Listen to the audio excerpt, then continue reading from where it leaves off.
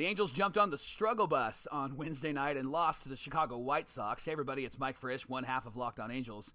An 11 to 5 loss to the Sox on Wednesday night was really tough to watch and it was really tough for Jaime Barria to pitch in.